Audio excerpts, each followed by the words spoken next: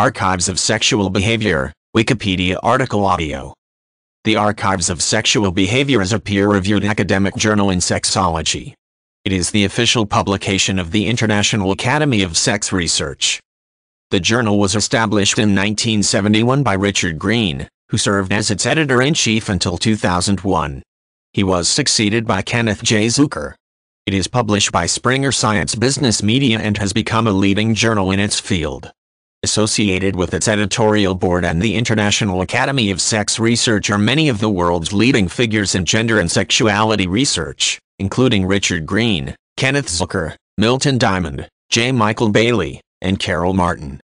The types of articles published in the journal include Archives of Sexual Behavior as abstracted and indexed in Biological Abstracts, Current Contents Social and Behavioral Sciences, EMBASE, Family and Society Studies Worldwide, Health and Safety Science Abstracts, Index Medicus Medline, Psychological Abstracts, PsycInfo, Referativness Journal, Risk Abstracts, Sage Family Studies Abstracts, Scopus, Sexual and Relations Therapy, Social Sciences Citation Index, Social Science Index, Sociological Abstracts, Studies on Women and Gender Abstracts, in Violence and Abuse Abstracts.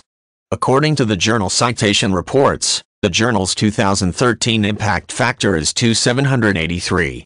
Based on the 2011 impact factor of 2,943 social science journals, Archives was ranked 102nd.